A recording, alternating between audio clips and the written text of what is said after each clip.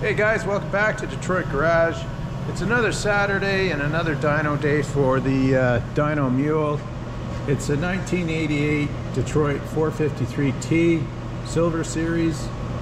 I yanked it out of a junkyard oh three months ago and then restored it, rebuilt it.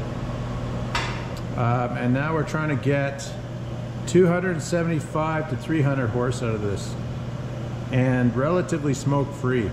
So there's a lot of work to do to obtain those goals, but uh, I'll persevere step by step and see if that can't be accomplished. Uh, so since Wednesday, I, I did the other dyno on Wednesday. I've added a drive pressure gauge, just kind of clamped it on temporary. I'll eventually put it in here somewhere. Um, so there's the drive pressure line here. Just goes through some copper coiling and out to that gauge. Here's that EGT probe. The EGT didn't seem to work very well and I went and used a torch on it, exercised it up to 1200 degrees and we'll see what it does today. I have ordered a new gauge uh, just in case this one's not very accurate.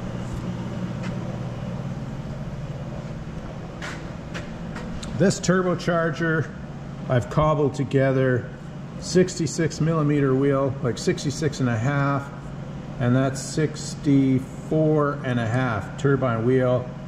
Ah, it's too big for this fueling. I'm trying to light it, but it's uh, it hasn't lit on the uh, 85cc injectors, so we'll see what it does with these. I also wrapped the uh, exhaust manifold with heat tape, and I've got a blanket for the turbo as well, and that's on the way. Should be here in a couple of days. I've ordered a uh, Garrett T04E Chinese uh, turbo with a 62 millimeter housing and a 61 compressor housing. 61 to 63 I think is just about perfect. So I can uh, move things around. I can put that compressor on this turbo and, and vice versa and work around here. I also have a K27. The K27 has a 60 millimeter compressor and a 59 millimeter turbine wheel. I've ordered a V-band clamp for that and I'm just waiting on that stuff to arrive.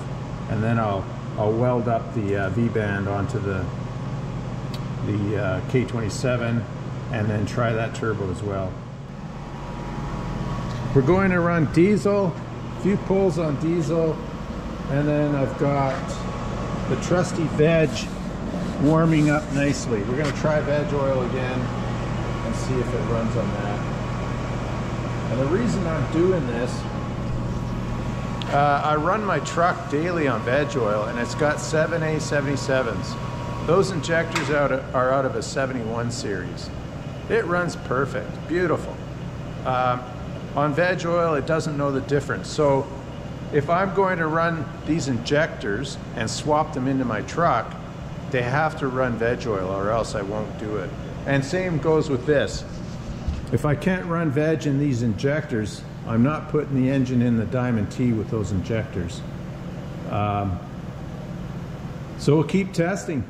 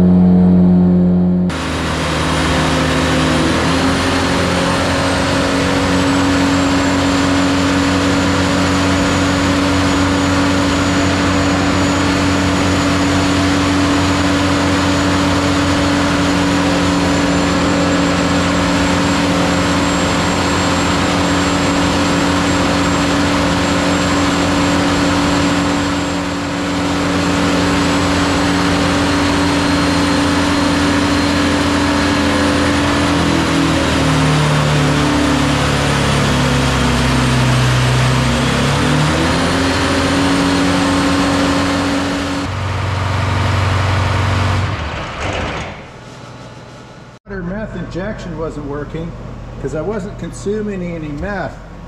So I just jumped this and we'll see. Nothing. So we're gonna pull that injector off and see what's going on there. Yeah, the uh, injector's not spraying. We'll get some more power out of her now. All right, we should get better numbers now that the water meth is working. Uh, that wasn't working throughout the whole, uh, the diesel run and the veg run. So now we're on veg and we're gonna do some pulls with the water meth working.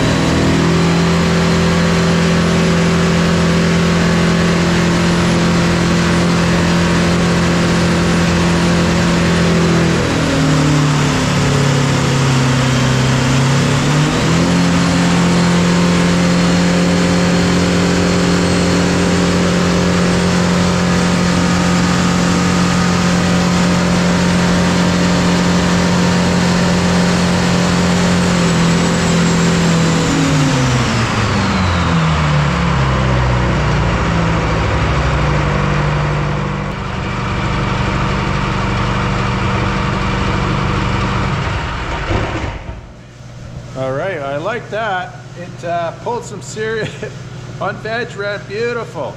Uh, I like what I saw there. We broke uh, 510 foot-pounds of torque.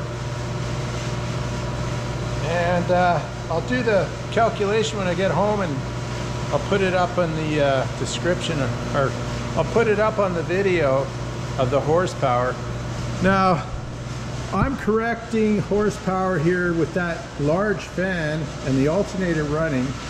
I'm adding 20 horse, uh, 20 horse to the uh, horsepower, but not for the torque. I'm, I'll have to go figure out if I need to adjust.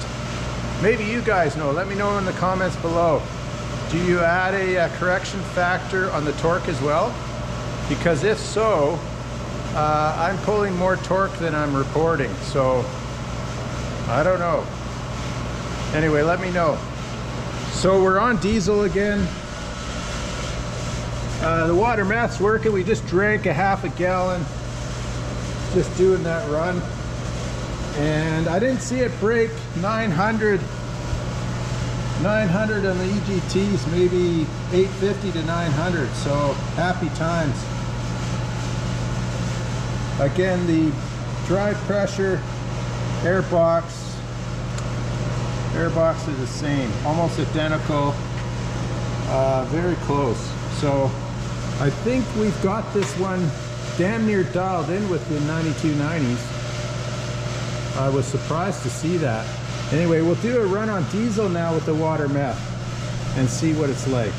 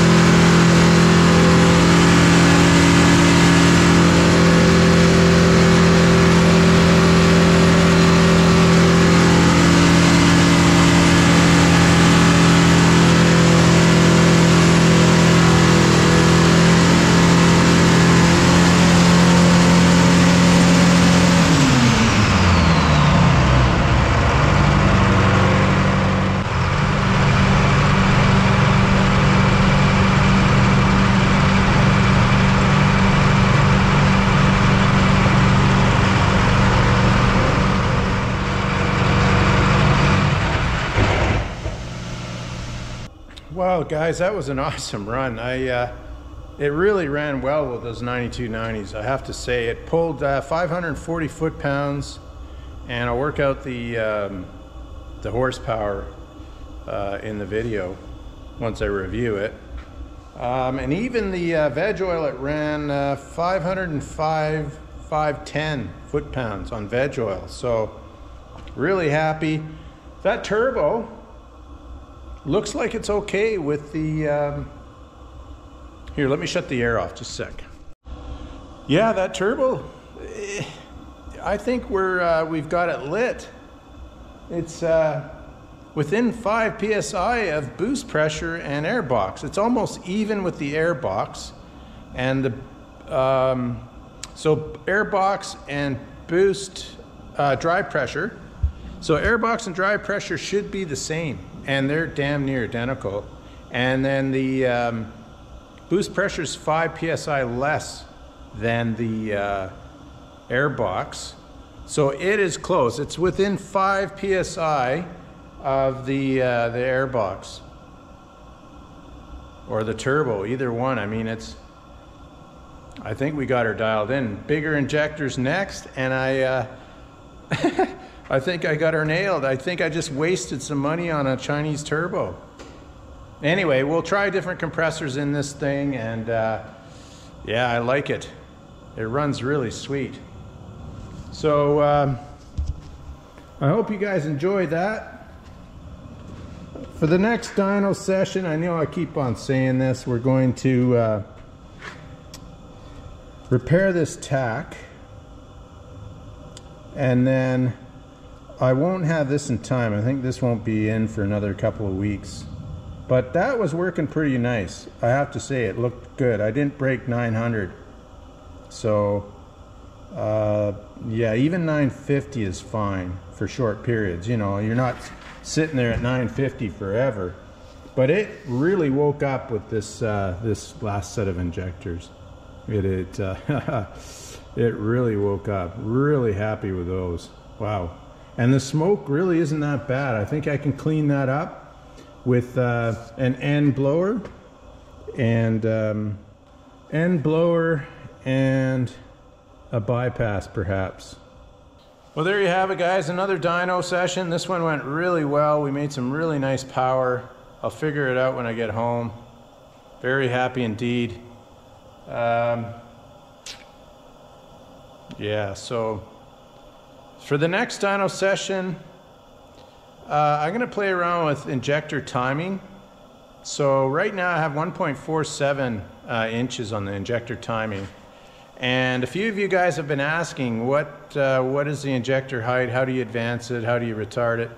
I'll make a separate video on that. I'll pull uh, some injectors out and we'll go through uh, a whole injector.